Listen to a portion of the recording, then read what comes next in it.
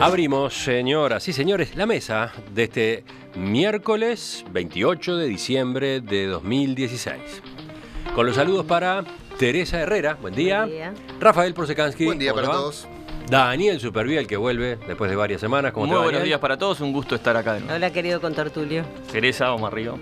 Se sacó el gorro rojo. ¿De qué era este gorro? De los Cardinals de Stanford. Opa. ¿Está muy desteñido o originalmente es así? No, no, está desteñido porque lo uso mucho. Bueno, y el último saludo es para Gerardo Caetano. ¿Cómo te va? Muy bien, muy, muy buenos días para todos. ¿Usás gorro? No, ¿Nunca? nunca. ¿Tenés suficiente pelo todavía como para Todavía, todavía, Bueno, todavía. vamos con la primera de nuestras noticias. Vamos al tema de estas horas en la agenda nacional. La embajadora de Israel en Uruguay, Nina Benami, dijo ayer que estaba decepcionada con la actitud de nuestro representante en el Consejo de Seguridad de la ONU, que acompañó el viernes una resolución que declara ilegales los asentamientos israelíes en territorios palestinos ocupados. En rueda de prensa, la diplomática aseguró que fue un premio al terrorismo palestino y remarcó que otras atrocidades y conflictos territoriales mucho más graves pasan sin atención. Y la votación el viernes pasado fue algo que un país amigo no hace en otro país amigo, traerlo, castigarlo en el Consejo de Seguridad. Nosotros fuimos buscando el apoyo de Uruguay para estar contra esa resolución, que es una resolución anti-israelí, que aleja la paz, no la acerca, que es una castigación contra el único país democrático en el Medio Oriente. Y por eso fuimos decepcionados. Porque si no hay amistad, no pueden estar decepcionados, porque hay amistad. Y sigue tomando amistad. Fue esa decepción. Desde el gobierno, el subsecretario de Relaciones Exteriores, José Luis Cancela, había buscado descomprimir el conflicto. El lunes dijo que ambos países siguen siendo amigos. En el mismo sentido se expresó en esas horas el dirigente de la Beneverit de Uruguay, Eduardo Con, que en declaraciones del país indicó que la relación se encauzará luego de que se supere el enojo inicial. Empezamos contigo, Rafael. Tú querías empezar. Tema complejo, si los hay. Pero hay. Yo quiero ir un poco más allá de la embajadora, porque la, embajadora no, no, no, digamos, no lo está diciendo a título personal. Tiene directivas precisas de parte de la administración Netanyahu de hacerlo, ¿verdad? Eh, a ver. Hace ya casi dos décadas que no hay negociaciones en serio por un acuerdo de paz duradero entre israelíes y palestinos. La última fue durante la administración de Ehud Barak, este, allá por el año 2000. Y desde allí, desde acá ha estado Netanyahu o, parecido, eh, casi, casi, casi que digamos los últimas dos décadas ha sido de gobierno de la derecha israelí este, en, Israel. Y desde allí no no han habido, no ha habido la recuperación del proceso de paz. No hay voluntad de la administración de Netanyahu. Yo no veo voluntad de la administración de Netanyahu de firmar un acuerdo de paz creíble con los palestinos. Eh, es un gobierno que tiene sectores que apoyan la existencia de un gran Israel. Un gran Israel significa anexionar, mantener eh, Judea, y, eh, Judea y Samaria, este, creando un gran Israel. Este, anexionar Cisjordania sería eso básicamente. O sea, gente que no es partidaria de la solución de los dos estados. Por supuesto, por supuesto. Hay sectores que apoyan a Netanyahu que no, que no es partidaria de solución, que, que sueña con un gran Israel, o si no, con darle verdaderas migajas a los palestinos. Que los palestinos y que el mundo árabe en general, en este tema en particular, es muy complejo negociar con ellos, pero por supuesto, para empezar, entre los palestinos está jamás, que no es que quiera eh, que esté luchando por la creación de un Estado palestino, jamás quiere, quiere echar a los judíos al mar, como en la vieja época. Hay sectores palestinos intransigentes y terroristas. Ahora, del lado israelí, ahora tenemos una administración también muy intransigente, que a veces habla así de las conversaciones de paz y demás, pero que yo no le veo, no le veo intenciones creíbles eh, y que ha, que ha promovido además la política de asentamientos. La resolución del Consejo, la resolución del Consejo de Seguridad, además de que está firmada por algunos miembros que mucha estatura moral para hablar de cuestiones de, de digamos este de anexiones y demás no tienen. Por ejemplo Rusia que tuvo un- que tiene su, su diferendo con Ucrania. Eh, además de eso algunas cosas estoy absolutamente de acuerdo como que una condena frontal a los asentamientos Israel ocupó estos asentamientos en el año 67 y no, yo personalmente no creo que haya un proceso de paz creíble sin desmantelar la gran mayoría de ellos.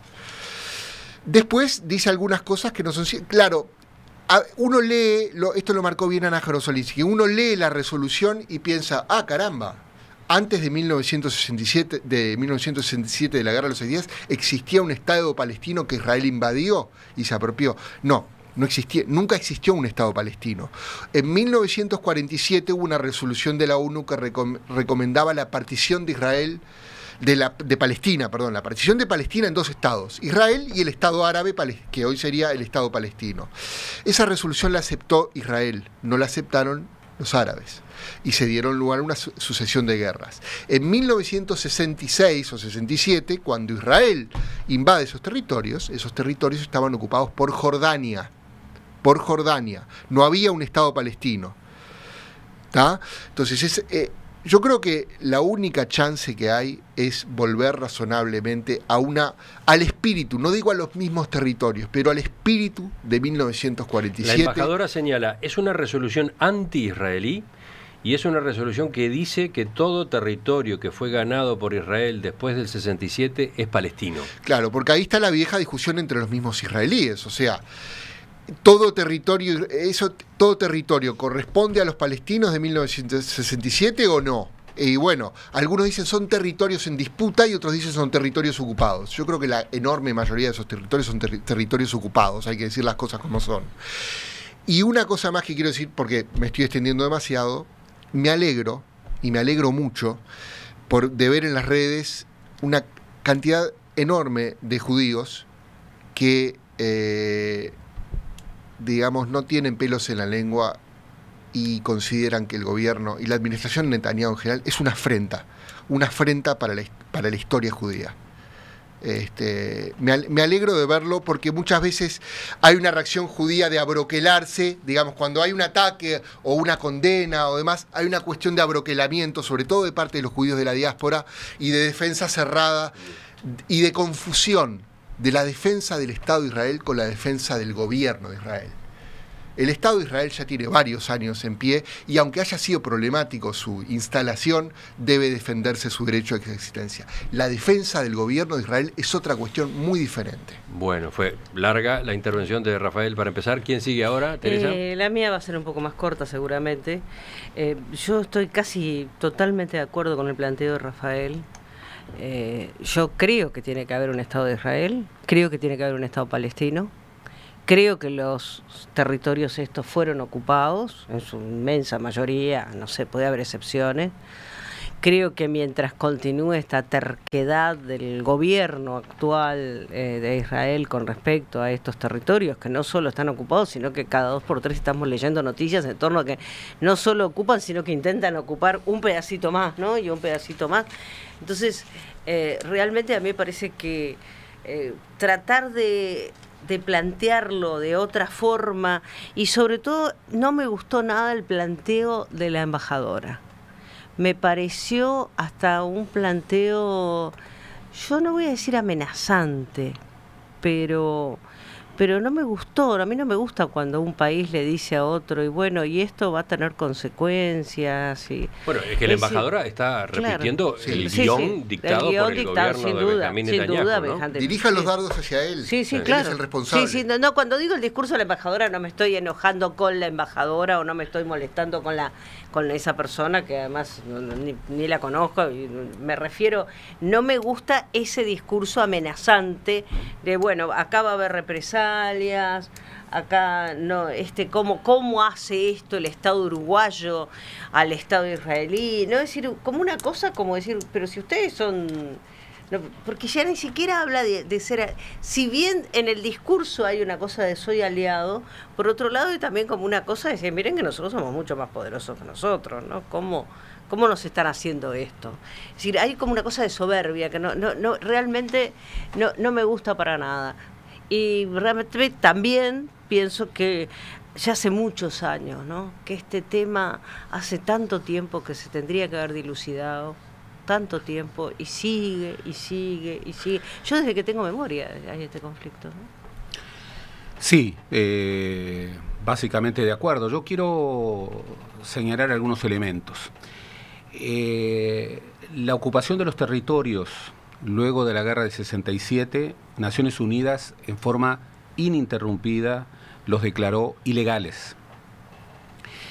Estamos en presencia del gobierno más belicista y más ultraderechista de la historia de Israel, con personas formando parte de ese gabinete que son personas eh, que ya no solamente plantean el Eretz Israel, el gran Israel, la ocupación de toda Cisjordania, sino que van más allá y que incluso llevan adelante políticas internas sumamente cuestionables. La decisión del Consejo de Seguridad de Naciones Unidas es absolutamente impecable y en ese sentido hay que eh, felicitar al embajador uruguayo, hay que felicitar a la Cancillería uruguaya porque otra actitud hubiera sido inexplicable. El Uruguay, más allá de la amistad proverbial que tiene con Israel, eh, Rodríguez Fabregat fue el voto decisivo en el año 48 cuando la partición eh, Uruguay ha tenido infinidad de gestos de respaldo. El pueblo uruguayo es un pueblo particularmente, eh, digamos, cercano a, Israel. Nunca me gusta hablar de mí, pero yo ostento con orgullo la adjudicación del Premio Jerusalén. Pero eso no puede significar estar atado en definir posiciones que refieren a algo que es el núcleo duro de cualquier política exterior uruguaya. El Uruguay tiene que aferrarse al derecho internacional, a la comunidad internacional. Y esto es lo que ha hecho Uruguay en el Consejo de Seguridad de Naciones Unidas. Ha defendido un principio de derecho internacional que no es anti-israelí, sino que refiere a una cosa mucho más general y que además está identificando uno de los problemas que no solamente está echando carbón a la hoguera en ese Medio Oriente que no parece tener solución. Yo tampoco creo, no, advertí en ningún momento a los gobiernos liderados por Netanyahu una voluntad de paz, una voluntad de acuerdo, como sí lo reconocí en Isaac Rabin o en Simón Pérez, mm. ¿eh? en donde en el proceso de Oslo había, y en Ehud Barat, en Camp David II, la paz estuvo muy cerca, muy cerca. este, y ahí había un proceso de paz en curso. Nada de eso ocurrió luego de los gobiernos de Netanyahu y estamos cada vez peor, porque yo quiero que los oyentes vayan y vean el diseño de los asentamientos que se están impulsando. Es un diseño en donde claramente se está generando hechos consumados que buscan que la opción que el mundo prefiere de dos estados, uno árabe, este, palestino y otro israelí, se vuelva imposible, se vuelva imposible. Entonces se están generando un hecho consumado que a todas luces es ilegal. Por eso yo creo que Israel, no de ahora, está en una situación que está comprometiendo fuertemente el futuro de la sociedad israelí, porque está consolidando una situación de aislamiento internacional, de la cual esta decisión del Consejo de Seguridad de Naciones Unidas es apenas una muestra de una larga fila, de una larga lista de pronunciamientos muy categóricos. Sí, yo este, valoro y agradezco tu palabra, las palabras de, de Porsekansky, en la medida que este, un poco generaron el, ámbito para poder hablar este, muy libre sobre esta, sobre esta situación que estamos viendo después de la resolución de las Naciones Unidas y de las declaraciones de la embajadora. ¿no? Eh, honestamente, cuando venía acá, yo decía, eh, yo acá en el micrófono puedo criticar a Trump, tranquilamente, puedo criticar a Putin, a Kim Jong-un, a cualquiera, y no siento ningún tipo de doble pensamiento pensando lo que tengo que decir. Y realmente me pasa que cuando me pongo a opinar sobre los temas relacionados a Israel, se me produce una suerte de conflicto para no herir susceptibilidades en la medida que llego a decir algo que políticamente puede llegar a ser interpretado como algo que está atacando a la fe judía o, a, la existencia misma del Estado de Israel, cosa que apoyo y me parece este, perfecto que, así sea. Me alegra que Uruguay haya sido uno de los impulsores de la creación de ese Estado, que tengamos muy, buenas relaciones diplomáticas y etcétera. Este, dicho eso, creo que eh, el mundo le está diciendo a este gobierno de Israel, no al Estado de Israel, este gobierno de Israel, que, que claramente los asentamientos este, no contribuyen a la paz. Y esa ofensiva este, mediática, diplomática, tan furibunda del gobierno de Netanyahu, que hoy leí antes de venir por acá, que poco menos le está declarando la guerra a Nueva Zelanda, que fue quien este, eh, le- Fue levantó. sponsor. Fue spon- Sponsor. sponsorió la cosa. Sponsor. Me parece, nada, me parece una locura. Me parece una locura, me parece que, que no Eh, apoya. Israel retiró eh, su embajador Su en Nueva. Zelanda, ¿no? Sí, sí, no, y, y creo que ahora, antes de entrar acá, vi que medio como que amenazó, como que, no sé, poco menos que iba a entrar en guerra con Nueva Zelanda, lo que me parece un disparate. Bueno, muy bien, ofensiva diplomática. Lo que no, lo que no deja de, de- de- de- de decirle al mundo, y el mundo de decirle a Israel, bueno, por acá no es el camino, hay, hay otros caminos. Israel, yo creo que el gobierno de Israel no debería, este, eh, debería al revés, este, interpretar lo que le está diciendo el mundo en vez de salir a la ofensiva y decir, me dejaron solo. Y bueno, no hay que olvidar también, o sea, lo que es Trump y Obama, ¿no? Que esto también tiene que ver con, con lo que está pasando en la sucesión de mando en Estados Unidos, ¿no? Este, que, que creo que también tiene que ver con la resolución final de, de las Naciones Unidas. Dice la embajadora que esta es una resolución anti-israelí. No, no estoy de acuerdo. No De estoy de acuerdo. De- eh, manera. Remarco esa frase a partir de lo que dos- decía recién eh, Daniel, ¿no? No estoy de acuerdo. Es una, es- resolución anti-israelí o anti-gobierno de Benjamín Netanyahu. No, es una resolución contra la ocupación de los territorios desde la guerra de los seis días en adelante. Acá no se habla de la. Bueno, es eh, en contra de los intereses de la administración Netanyahu, por supuesto, porque eh, Netanyahu no, digamos, much- muchos deseos de devolver esos territorios no tiene, eso es evidente. Pero de ninguna manera, eso es política lo que está haciendo la embajadora, que bueno, a eso se dedica. Y después dice definitiva. que como la resolución termina indicando que todo territorio que fue ganado por Israel después del 67 es palestino, eso es un problema. Si tú eres palestino, tienes el visto bueno de la ONU para decir que todo es tuyo. Y si la idea es llegar a un proceso de paz, ¿con qué tierra podemos hacer nosotros la negociación ahora? No tenemos tierra para negociar y eso es un problema. Bueno, ahí se abre una pregunta. En primer lugar, eh, el estado de- ahí hay un estado de nebulosa que sí hay que entender. Nunca existió de parte de los palestinos una aceptación de Israel como Claro. tal.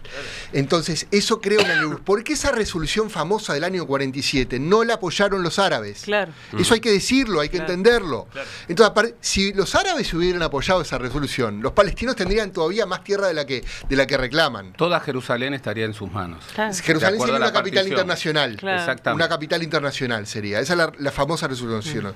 Entonces, ahí hay un estado de nebulosa muy, muy, muy complejo. Ahora, hay un tema demográfico también. Judía y Samaria es inmensamente superior la población palestina. Es un suicidio para Israel quedarse con esos territorios. Esos territorios tienen que ser devueltos. Tienen que ser devueltos y tienen que ser la base para el Estado palestino. O una, segunda opción que ahora se maneja en algunos corredores, crear una confederación jordano-palestina. Pero, la solución no puede salir de ahí. Tiene Pero la embajadora dice, esta resolución decreta un estado de cosas. Decreta que esos territorios son Pero palestinos no, y pero, punto. perdón. no Pero son israelíes pero- Perdón, esos perdón. territorios. Pero que ese decreto, perdón, eso es no lo decreta ahora, lo ratifica. Esa Esos ha sido estados son Supongo que palestinos está- que está desde el año punto- al punto 67. uno, ¿no? no hay una Pero sola claro. resolución. Porque yo hablé de la el punto resolución. uno dice, reafirma que el establecimiento de asentamientos por parte de Israel en el territorio palestino ocupado Claro, desde claro. 1967, incluida Claro. Jerusalén Oriental, no tiene validez legal y constituye una flagrante violación del derecho internacional. decenas Nunca la ONU reconoció esos territorios para Israel. No. Jamás. Jamás. Hay decenas y decenas de eh, ordenanzas, disposiciones, pronunciamientos, resoluciones, este, que en el Consejo de Seguridad de Naciones Unidas no pudieron prosperar porque siempre tuvieron el veto de Estados de Unidos. Estados Unidos. Claro. Esto es lo inédito. Lo inédito. Esto es lo inédito. Claro. Pero que en, en la Asamblea General de Naciones Unidas han salido por abrumadora mayoría. Cuando digo abrumadora mayoría, estoy hablando de 170, de 180 estados, y no todos son. Hay estados este, muy anti-israelíes, pero no todos. ¿eh? Uruguay ha votado en esas mayorías. Este, con, contra la, el voto en abstención o el voto adverso de dos, de diez. O sea, aquí incluso eh, se plantea subrepticiamente la idea de que, en definitiva, la paz se va a obtener a través del intercambio de territorio ocupado por paz. Nosotros recordemos, en el Bueno, proceso de llegó a- Oslo... llegó a ser como un eslogan, ¿no? Paz por territorio. Claro, Claro. pero en el, en el- en el Congreso de Oslo, en el proceso de Oslo, la OLP había reconocido a Israel. Yasser Arafat había reconocido a Israel. Correcto. ¿Eh? Jamás nunca. Jamás nunca. re- No. Y jamás es parte del pueblo palestino. Por supuesto. Y tiene injerencia política en el pueblo Por palestino. supuesto, y es muy difícil negociar con Hamas. Este, es muy difícil negociar con un actor que niega tu derecho a existir. Irán, eh, en la voz de su líder espiritual, Ali Khamenei, una vez y otra vez, hablan de que su proyecto es tirar a los judíos al mar. Señor. Bien, los el proceso de negociación es muy difícil, pero no va a haber proceso de negociación mientras Israel no solamente mantenga un statu quo con territorios ocupados, sino que avance Claro. sobre la vía de los hechos en una perspectiva de fait accompli, de hecho consumado, que va, sin lugar a dudas, al Eretz Israel, al Eretz Israel, a Judea y a Samaria como dos provincias israelíes. Hay, hay- hay que hacer una precisión histórica porque uno si no va a pensar, ah, entonces la izquierda israelí siempre es la que, la que genera los acuerdos de paz, y la derecha israelí. No, Menachem Begin, un líder conservador y derechista, fue el artífice de la paz con Egipto. ¿Tá? O sea, con y hay Anwar el Sadat, que era otro líder de la guerra. pesado, un Lo pesado. cual tiene que o sea, ver con que los procesos de paz más difíciles no los hacen las palomas, los hacen los halcones. Claro. Isaac Rabin era un halcón dentro del Partido Laborista, no así Shimon Pérez. Y la desconexión de Gaza fue bajo de la administración de Ariel Sharon. Claro. que Otro el- halcón. Otro que los sacó Otro a las halcón. patadas a los, a los colonos de, eh, judíos de Gaza. este, entonces, todo, todo tiene relativo. Pero esta administración de Netanyahu, voluntad ninguna, voluntad ninguna de ir hacia la paz.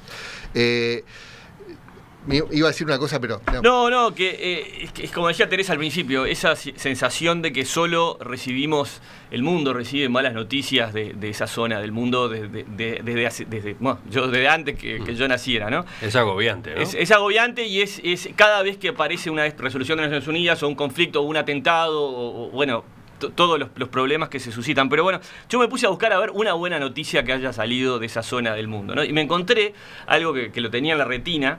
Eh, una, y, y acá tienen que ver las mujeres, Teresa, vos que siempre reivindicás el, el rol de las mujeres. Con, No vale con no todo hablar derecho. de ese tema. No, eh, en octubre de este año se hizo la Marcha de la Esperanza, ¿no? Este, de una organización llamada Mujeres. Activas por la Paz, Sí, donde mujeres palestinas y mujeres israelíes, mujeres israelíes que habían sufrido atentados, mujeres palestinas que habían perdido familias en el conflicto con, con Israel, marcharon juntas, arrancó como algo muy chico y terminaron metiendo como 4.000 mujeres ¿Me- caminando. me permitís? Y se metieron para para, se Sí. metieron por algún lado y este y en los discursos que pude leerlos algunos, era toda una reivindicación de bueno, que alguien tiene que tirar la bueno, la primer paloma de la paz para que y bueno, y las mujeres desde la sociedad civil aportando una solución, por ahí no política, no diplomática, pero que me parece que cuando los pueblos quieren hacer la paz, al final lo- la política y la diplomacia se adecuan. ¿Me ¿no? permitís? El origen de Mujeres de Negro, una organización que está en Uruguay y que de la cual yo participo, es ese. Mujeres de Negro fue fundada hace más de 15 años entre mujeres palestinas y mujeres israelíes que decidieron juntarse vestidas de negro en señal de luto por sus hijos, diciendo que no querían más, es decir, la muerte en sus, en sus, en sus vidas y en sus territorios. Después, esa organización se diseminó por el mundo y en cada lugar del mundo decide qué batalla da por la paz. En Uruguay la da, bueno, por, la, por lo que todos sabemos, ¿eh? que es por la violencia doméstica, pero en el, fue fundada entre mujeres israelitas y mujeres palestinas por la paz hace 15 años. Y- una- y, esto es muy importante, y lo señalaba Rafael. En primer lugar, eh, pronunciamientos cautelosos, consistentes de la Cancillería uruguaya y del presidente de la República, que frente a una situación poco diplomática, ¿m? Eh, yo creo que se actuó correctamente. Segundo, y muy importante, declaraciones cautelosas de los dirigentes de las organizaciones judío-uruguayas Correcto. que eh, sacaron pronunciamientos muy cautelosos, muy prudentes, muy orientados a, bueno, a reconstruir una relación de amistad. Tercero, no nos equivoquemos y pensemos que Israel, que la sociedad israelí, es una sociedad absolutamente homogénea en una posición belicista de apoyo a este gobierno de Netanyahu. No. no. Hay grandes figuras de la sociedad israelí, por ejemplo, los grandes literatos Oz.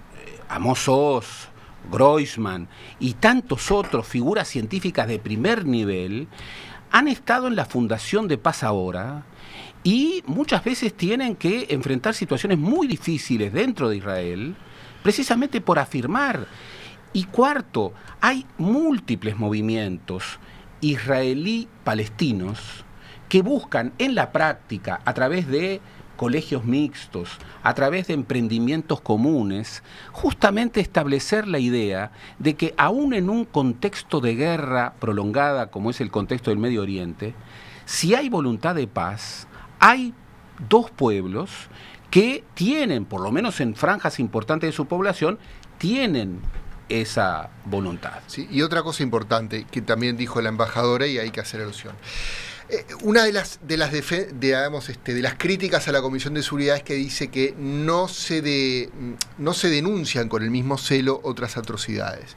Ya de hemos las a- críticas al Consejo de Seguridad. Sí, ya hemos hablado en esta mesa de que Israel es un villano fácil en cierta parte del globo, incluyendo Uruguay, y que se lo mira con más lupa que lo que se hace en otros países. Yo de eso no tengo ninguna duda. Dicho esto, escudarse para, y defenderse en ese argumento es como el niño que está pintando la pared y otro, no sé, le está pegando a la hermanita.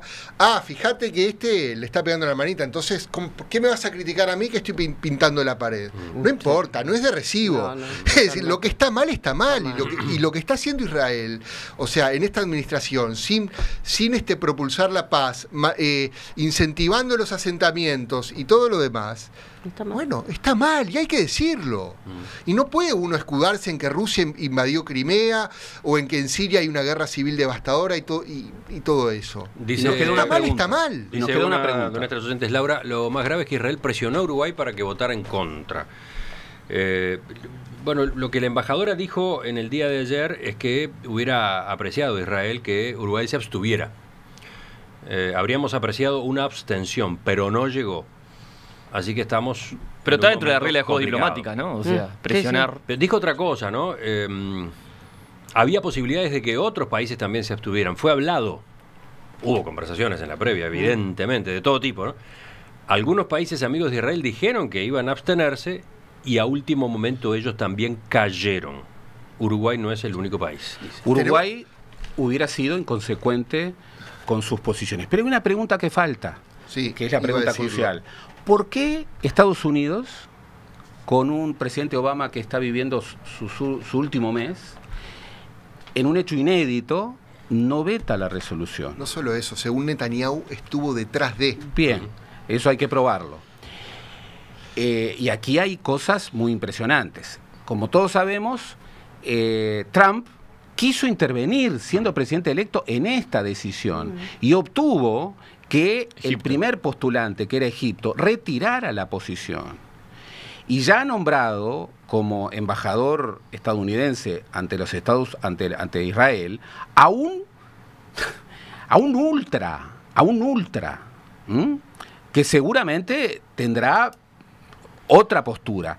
Y recordemos que Netanyahu con Obama tuvo actitudes realmente este, terribles. ¿Ustedes recuerdan cuando el acuerdo de Estados Unidos con Irán, ¿m? al que acompañaron el cuarteto, Sí. eh, el señor Netanyahu este, se apareció en los Estados Unidos para hacer una de- un, un- un discurso ante el Congreso sin siquiera avisarle a, a Obama, Negociando con los republicanos. negociando con los republicanos. Bueno, eh, Netanyahu ha tenido malos vínculos prácticamente con todos los expresidentes norteamericanos de los últimos 20, 25 años. Lo que pasa es que los presidentes norteamericanos tienen un compromiso establecido. Yo creo que esta última, este canto del cisne de Obama es como para, primero, marcar su postura y luego, de alguna manera, prender la alarma de lo que se viene. Exacto. Bueno, hay que hablar de eso, ¿no? De lo que se viene. Eh, lo que se viene. Respetando el terroir en un fiel compromiso con la calidad. Jiménez Méndez, con seis medallas de oro, es la bodega más premiada en el concurso internacional Tanat al Mundo. Jiménez Méndez, vinos que seducen el alma. Podríamos seguir un buen rato charlando de este tema y bueno, lo vamos a retomar, pero mirando los mensajes de los oyentes me llama la atención este, por ejemplo, de Gonzalo Depositos, que dice, a raíz de los términos que se han utilizado en, en esta discusión acá en Uruguay, es un error hablar de países amigos. Lo que hay, en todo caso, son gobiernos amigos. Eh, el vallismo, el gobierno vallista, lo fue. No es el caso de la izquierda criolla, por siempre afín a los grupos palestinos. Basta recordar actitudes del canciller Almagro en Naciones Unidas. Ahí se abre otro capítulo. Bueno, hoy como dije lo de las redes, de, de ver tantas voces judías en contra de la administración de Netanyahu, qué fácil, qué fácil que aparece el antisemitismo en estos casos. Y no estoy hablando de criticar a Israel como lo hemos hecho en esta mesa. Estoy hablando de, de utilizar expresiones ya Sí, sí. rata sionista, por ejemplo. Sí. Pero, pero eso Sí. tiene que ver con esto ¿Eh? que dice el oyente. Eh, no, no. eh, Yo creo que en la izquierda, pensar, como en tantas digamos. cosas, respecto a No, este no, punto, hay visiones muy diferentes. Hay visiones Eh, muy diferentes. Por ejemplo, creer que Tabaré Vázquez, que entre otras cosas se formó en, Estado- en, en Israel, buena parte de su, de su especialización, y José Mujica, respecto a Israel, tienen la misma posición, bueno, rompe los ojos que eso no es así. Volvemos, volvemos a la mesa con otros temas.